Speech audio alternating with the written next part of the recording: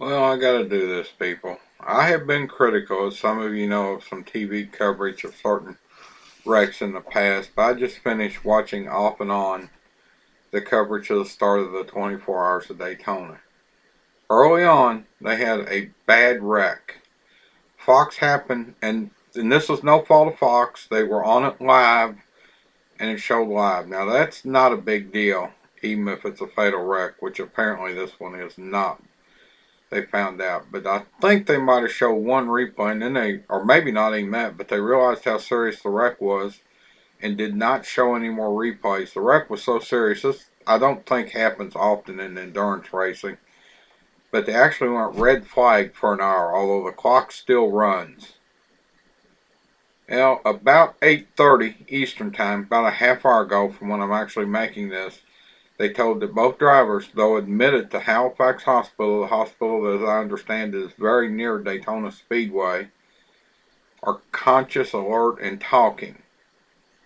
Then they showed the replays, and that that to me is a good job by Fox Sports. I have been critical in the past, even saying I even have a whole blog up that fatal crashes should not be allowed on YouTube. I will make one exception to the rule. If it is within the upload of a whole race, that I understand, but just to show a fatal crash, to be showing a fatal crash, the only thing you show, one very good uploader, and I believe it's an ARCA race, has in the description, warning, fatal crash shown. But that I can understand, but just the idea, what if it's a family member? Who's scrolling through racing videos looking for their family member and a fatal crash comes up. They don't want to see it again. I mean, I've seen the Dale Earnhardt fatal crash so many times on replays, it's not funny. And it's, it shouldn't be.